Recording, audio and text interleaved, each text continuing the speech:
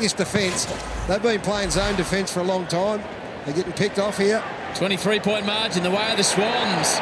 Warner runs onto the footy, gets rid of the tackler,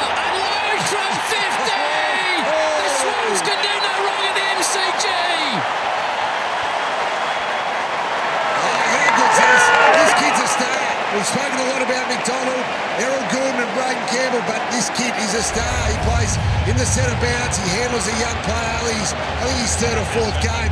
I like the Sydney forwards too, and they just hold back. So they vacate the front of the centre square so the Sydney midfielders have space to come out. That is a fantastic finish by the young man. 8-5, centre bounce, clearance work, been absolutely superb. Yeah, there was a bit of a...